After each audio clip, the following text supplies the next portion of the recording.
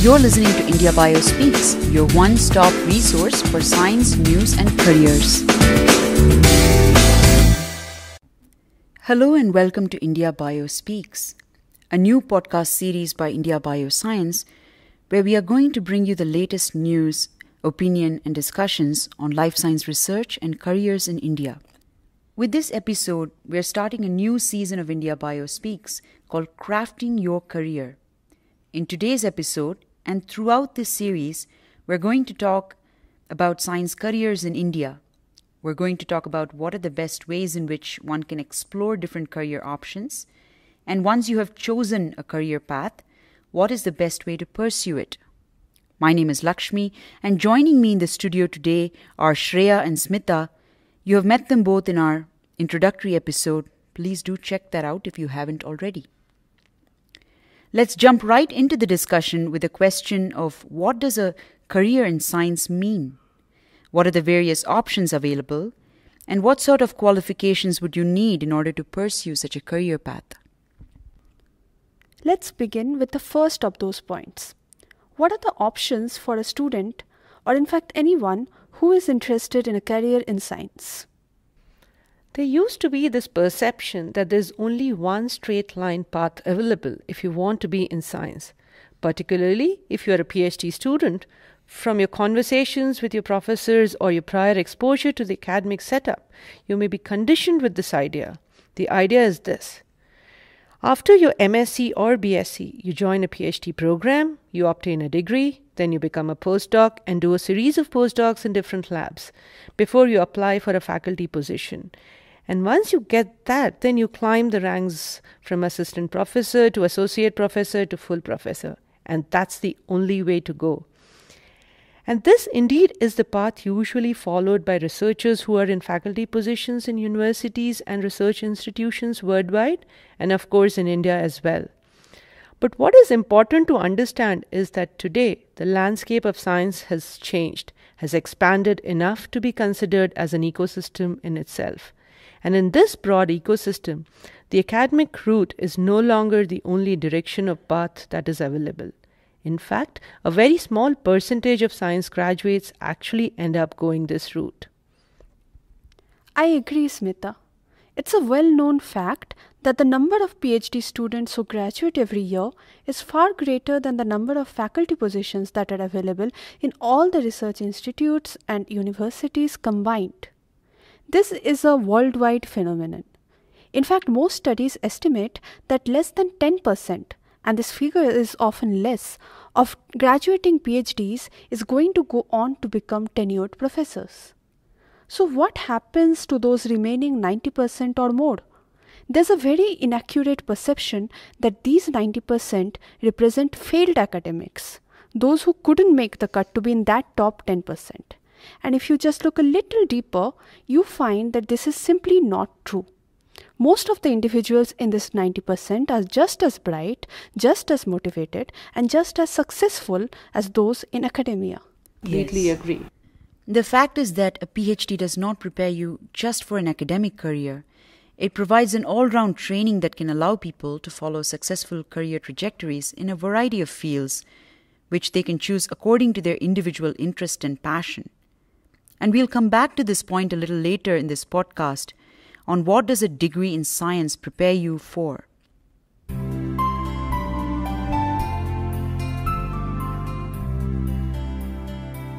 But first, as we discussed, there are a lot of excellent choices for working within the sciences. Let's now talk about what are some of those options in India. So, with the evolving scientific ecosystem, there are a large number of science careers that have come up and of course, we cannot cover them all in this podcast. Just like we discussed, there is the option of becoming an academic scientist, working in a university or a research institute. You can also carry out research in the R&D department of an industry. For example, in a pharmaceutical or a biotech company. Other than these, you could also become a facility manager or a technician. Within industry itself, there are many career options in addition to R&D, where a science background can come in handy. For example, working in technology transfer, quality control, technical writing, management, business development, application support, etc. Then there are also science administrators who are crucial for the functioning of any research establishment.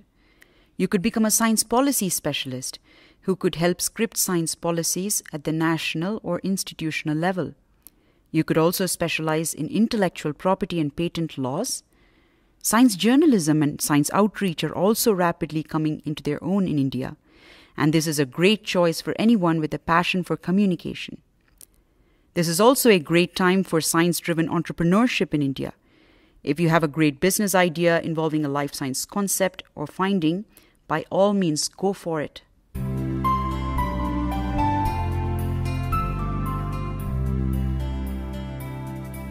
The starting point for any of these careers is a good science education.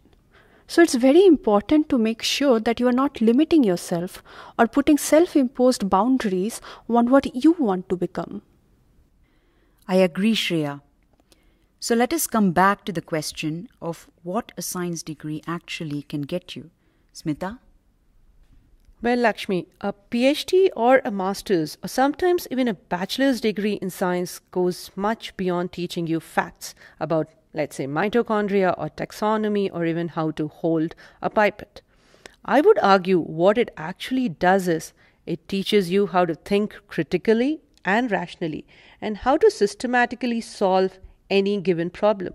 It also allows you to build hard and soft skills that can be applied across different fields. I completely agree. And there are a bunch of skills you gain during this process which you may not even think about or realize. For example, all those nights poring over literature or even textbooks, you often come out with strong independent study and research skills which you can keep applying in many different areas of your life. You get used to learning new things and continuously developing fresh skills, which is important in almost any profession that you can think of. Absolutely, Shreya. And as any PhD student will agree, you learn how to cope with heavy workload and how to manage your time. You learn how to remain inspired and motivated despite experiments not always yielding expected results. You learn how to navigate professional relationships with your mentor, with your lab mates. Again, this is extremely valuable no matter what career path you choose. It is important to think about your degree in science not just as another milestone on your road to a PIship or a research career, but as an all round holistic training that prepares you for a number of different exciting opportunities down the road. And it is important that you recognize and apply this training when those opportunities actually arrive.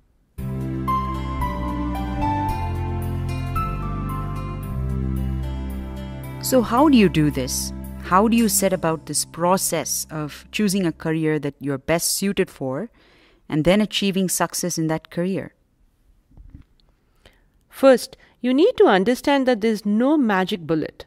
No matter which direction you choose to go into, hard work, patience, and discipline will always pay off, and so will being truly passionate about the field you choose to work in.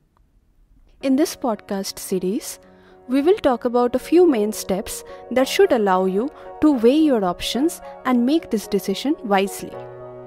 First and foremost, you should spend some time in getting to know yourself. What are you passionate about? What are your interests? What skills do you have? What are your core values? How can you integrate all of these to understand what area of work you are most suited to? In the next couple of episodes, we will dive deeper into these points. After this, we will move on to the best way to research career options. Even in this internet age, it is very easy to be misinformed. In spite of there being a lot of information in the public domain, it's still hard to distill what is actually useful. And there's also a special advantage if one can gain access to relevant and reliable private information. This comes only through networking. We will discuss various ways in which you can do targeted research on suitable career options, break any networking barriers. We also have a few special episodes planned with guest speakers that will help us explore some of these critical aspects. So, now let's say you have done all of this.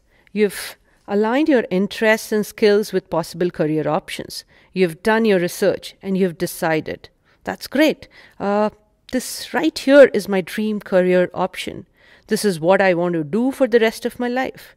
Or maybe uh, you're more cautious and you've hit upon multiple options, say A, B, or C, in that order as you choose the different career paths. That's a great start in itself, but you're still very much at the beginning of your journey. True. Isn't it? This is because you still have to prepare yourself for that career and make sure that you've built the right skill sets to enter and progress in that profession. The first step here is actually applying for and getting a job. We'll be covering uh, this in some of our later episodes how to dissect job ads, how to prepare your resume, how to write a cover letter, how to interview well, etc. Secondly, once you have landed in a job, you need to think about how to make the most of that opportunity for both personal and professional development. We will talk briefly about professionalism and work ethics in a later episode. We will also talk about the importance of efficient networking, of mentoring, and of role models.